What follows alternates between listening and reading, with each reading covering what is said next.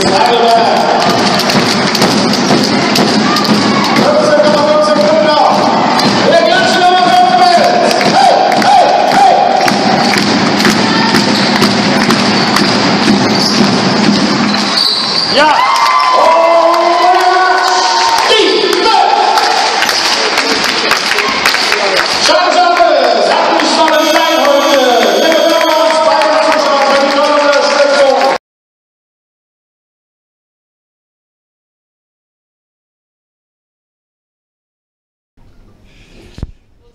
Ja, das Bangen geht weiter um den Klassenheit für die S&P Baskets in der Damenbasketball-Bundesliga. Am drittletzten Spieltag haben sie mit 73 zu 82 gegen die Giro Live Panthers aus Osnabrück verloren. Heute haben wir im Interview Melina Karvasilis. Hallo Melina.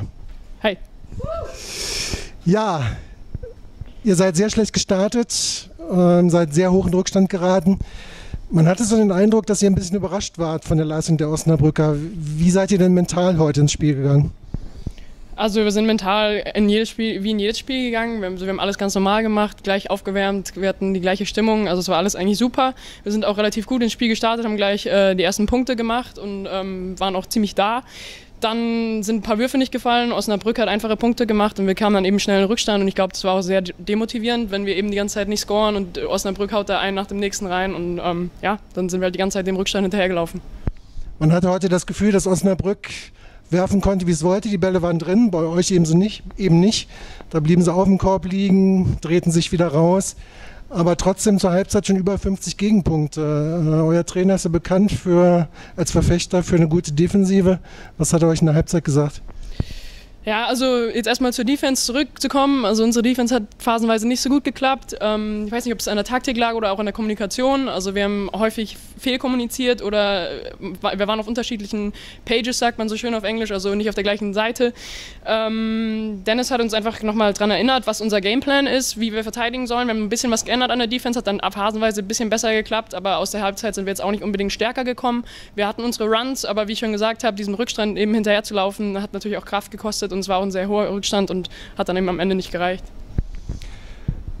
Zwischendurch hat äh, Osnabrück sogar mit 22 Punkten geführt, aber ihr seid dann nochmal drangekommen, aber trotzdem hatte man nicht so den Eindruck, dass ihr den Turnaround heute richtig, äh, richtig schaffen könnt. Wie hast du das im dritten und vierten Viertel gesehen, im vierten Viertel vor allen Dingen? Ja, also wie ich gesagt habe, wir sind nicht so gut aus der Halbzeit rausgekommen wie schon im ersten Viertel nach diesen äh, ersten unseren zwei Punkten und dann diesen langen Run von Osnabrück.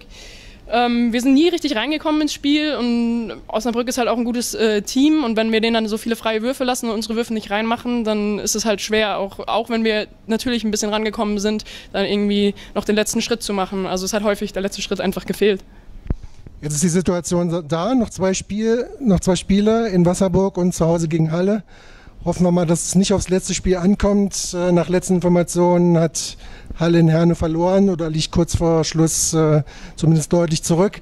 Ihr müsst jetzt nach Wasserburg, könnt es da klar machen, aber theoretisch wenn Halle gegen Keltern verliert, ihr verliert, seid ihr trotzdem gerettet. Wie siehst du die Situation im Abstiegskampf jetzt?